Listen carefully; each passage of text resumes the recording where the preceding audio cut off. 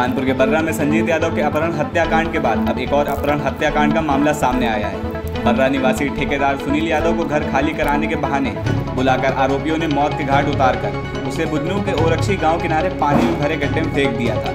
हालाँकि पुलिस ने अपहरण हत्याकांड में आरोपी सोनू उर्फ़ रोहित और मोनो उर्फ़ मोहित को गिरफ़्तार किया है। गुरुवार देर रात क्षेत्राधिकारी गोविंद नगर वी के पांडे ने अपहरण हत्याकांड का खुलासा करते हुए बताया कि बर्रा निवासी दोनों सगे भाई सोनू और मोनू ने ठेकेदार सुनील को घर खाली कराने के बहाने बुलाया और फिर बंद मकान में उसकी हत्या कर दी। शव को जूट कर रस्सी से बाँध कर आरोपियों ने उसे बिदनू के ओरक्षी गाँव किनारे पानी के गड्ढे में फेंक दिया था। अगले दिन बिदनू पुलिस ने शव को शिनाख्त के लिए बर्रा पुलिस को दिखाया था, लेकिन शिनाख्त नहीं हो पाई थी।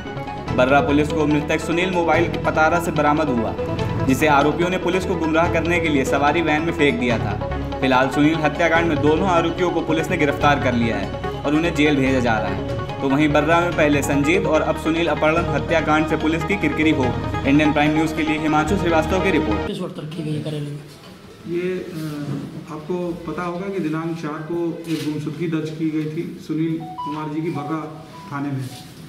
उस संबंध में फिर उनकी तलाश के लिए टीमें तमाम गई थी। फिर आठ तारीख को जो है उनके परिजनों ने एक अपहरण का के संबंध में तहरीर दी थी कि सोनू विश्वकर्मा, जो कि उनके पड़ोस में रहता था और एक मकान बगल में उसके जो रहता था, वो पहले मकान इन्हीं सुनील का था।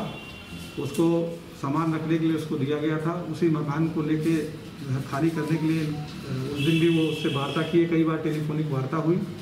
उसी के क्रम में उसने जो है उनको बुलाया था। और उसी योजनाबद्ध तरीके से उनको अपने उसी घर में जो है बुला के अब वो और अपने भाई क्योंकि वो मकान नहीं खाली करना चाहता था और ये किसी को इस संबंध में किसी से जो है इन्होंने जो है बयाना ले लिया था कोई रमेश नाम के व्यक्ति से। और काफ़ी दिनों से कह रहे थे कि अपना सामान जो है खाली कर लो।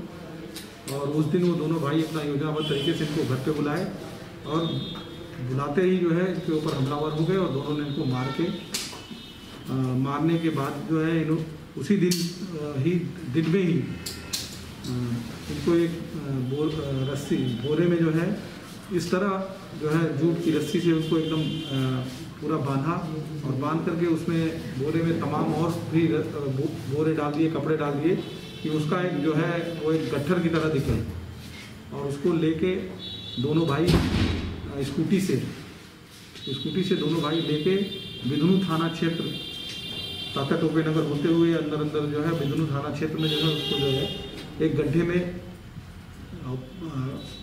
पानी का एक गड्ढा था, सड़क के किनारे वहाँ फेंक के चले आए थे।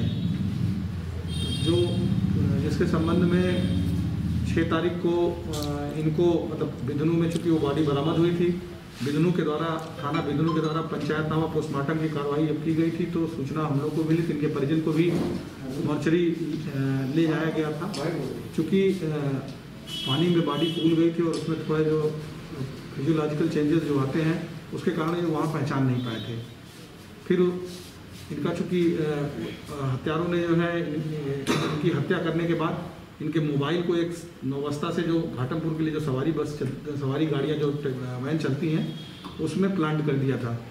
और उस दिन भी चूँकि एक दिन लगातार जो है दिनांक पाँच को जो है चार तारीख को उनका फ़ोन चला और पाँच के सवेरे तक फ़ोन चलता रहा। तो एक डाइवर्ट करने के लिए कि एक जो है कि घाटमपुर की तरफ़ और जहानाबाद की तरफ़ तो वहाँ भी एक टीम हमारी गई थी वो मोबाइल भी बरामद हुआ वो आदमी भी बरामद हुआ उनसे वेरीफाई हुआ। फिर इससे पूछताछ के दौरान इसने जो है अपनी पहले तो अपनी तबीयत तबीयत खराब होना फिर जो है बताया।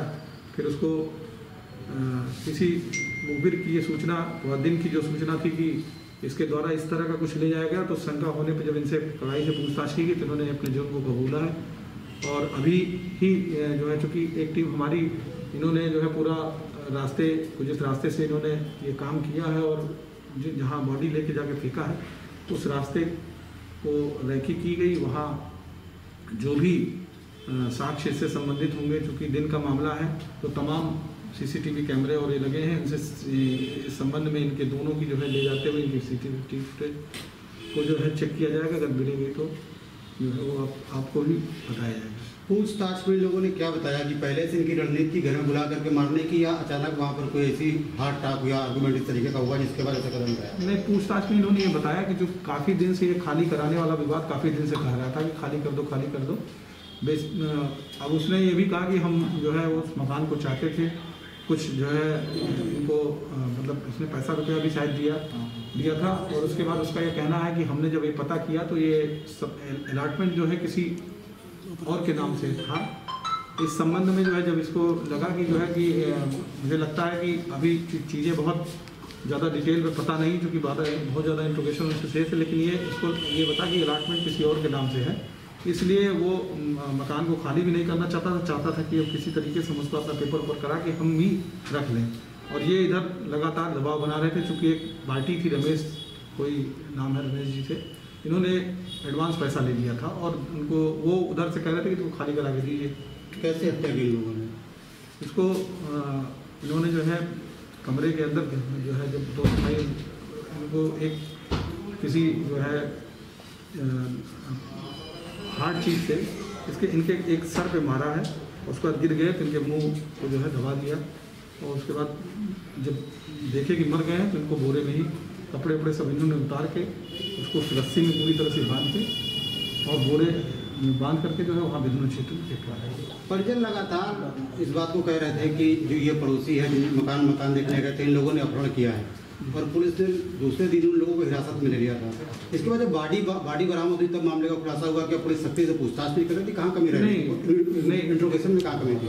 नहीं कहीं कभी नहीं रह गई क्योंकि उन, उन्होंने उन, उनकी शंका ये थी दूसरा क्योंकि आपको जानकारी होगी एक क्योंकि व्यक्ति जो है, वो भी पूर्ण आश्वस्त नहीं थे और उन्होंने मोबाइल, एक ये था कि व्यक्ति का जो मोबाइल, जिस मोबाइल से बात हुई, वो मोबाइल शाम को जहानाबाद में चल रहा था। तो वो लोग भी ये कह रहे थे कि मोबाइल हमारी बात पिताजी से हुई मतलब हमारे पापा के पास फ़ोन है, किसी ने कहा कि जो है बात कराओ तो उसने कहा, तुम्हारे पापा जो है, अभी लेटरिन करने गए हैं। ये ये तमाम चीज़ें थी तो मोबाइल भी एक, उसकी कड़ी थी, एक तरफ़ जो है मोबाइल के लिए टीम लगी हुई थी।